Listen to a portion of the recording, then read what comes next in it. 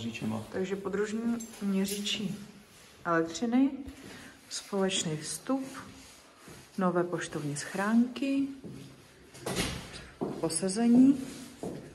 Tohle je vlastně společná část se vstupem do domu. Bezpečnostní dveře samozřejmě protipožární.